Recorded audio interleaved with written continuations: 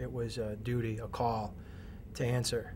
Uh, unprecedented negotiations here, and I wanted to be a part of that. I just felt uh, an urge to try to help, to support um, this effort. I just thought it was it was an opportunity to try to raise awareness and communicate with other writers, and and again just cre- help create the community of writers because this is for all of us this time.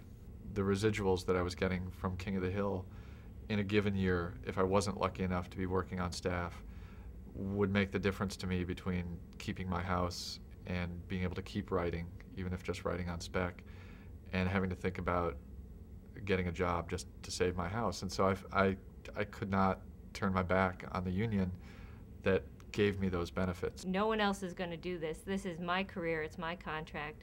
I've been in the Guild for 12 years. If I want to be in it another 12, this is when I'm going to define what those 12 years are going to be.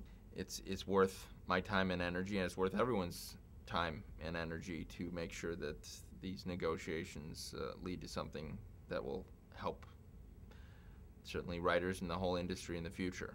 The leadership that we have in place, uh, the negotiating team uh, and the staff, and the feeling of, of power, empowerment uh, uh in the membership is unprecedented. This is the first negotiation where I've seen everyone completely united, which is uh, really gratifying. I really believe that screenwriters and TV writers are looking at the same issues in this particular negotiation this year. There, there is really a sense of community now that I, I'm not sure was there, certainly not in the time I've been a member. If you look back at, at the writers who started all of this, who started the Writers Guild, they gave up everything so that we could have what we have now.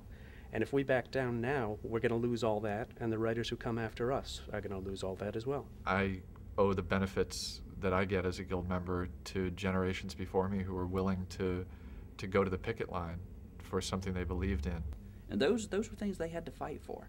And now here we're facing some very important issues that writers future will look back and think they did that for us. The you know the issues around this particular um, negotiating uh, period are, are really important.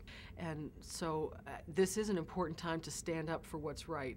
I firmly believe that now is the time for, for the writers of, of the Writers Guild to, to, to stand united because we don't realize the power we have. This is a phenomenal union. It's worth fighting for. Your craft is worth fighting for, and your craft is, your craft is worth fighting for. You're worth fighting for, and the work you do is worth protecting. And so I, I am the guild. All, you know, the people that I work with are, are the guild, and we have to stand up for what that job is. And I think that this people will look back at, at this point and say this was a turning point for the better, and it's going to change. It's going to change our position in the industry, and we're we're going to achieve really good things.